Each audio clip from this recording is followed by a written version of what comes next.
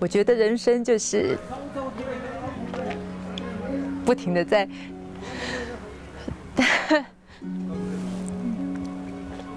学习说再见，然后我觉得爸爸的离开对我来说是这一生的第一个练习。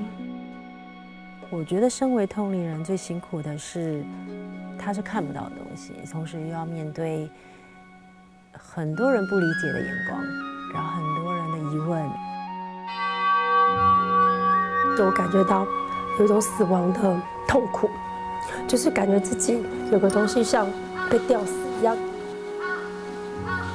我如果能够稍微知道一点点他在死前的感受的话，是不是能够让自己的罪恶感不要那么多？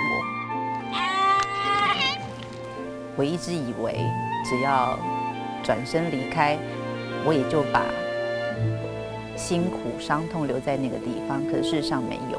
后来发现，原来在凝视伤口的时候，这些伤口其实会产生力量。